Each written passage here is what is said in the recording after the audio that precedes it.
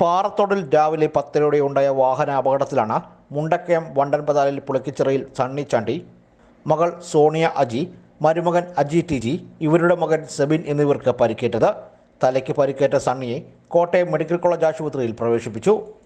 മുണ്ടക്കയത്ത് നിന്നും കാഞ്ഞിരപ്പള്ളി മേരിക്യൂൻസ് ആശുപത്രിയിലേക്ക് വരികയായിരുന്ന ഇവർ സഞ്ചരിച്ച ഓട്ടോറിക്ഷയിൽ കാഞ്ഞിരപ്പള്ളി ഭാഗത്തു നിന്നും അമിത വേഗതയിലെത്തിയ പിക്കപ്പ് ജീപ്പ് പിടിച്ചാണ് അപകടം. മൂന്ന് വർഷം മുമ്പ് ഓട്ടോ മറിഞ്ഞ് മരണപ്പെട്ട മാധ്യമപ്രവർത്തകൻ സനൽ ഫിലിപ്പിന്റെ പിതാവാണ് സണ്ണി. പരിക്കേറ്റ മറ്റു മൂന്ന് പേർക്കും കാഞ്ഞിരപ്പള്ളി ജനറൽ ആശുപത്രിയിൽ പ്രാഥമിക ചികിത്സ നൽകി വിട്ടയച്ചു. News bureau Kanjirappally.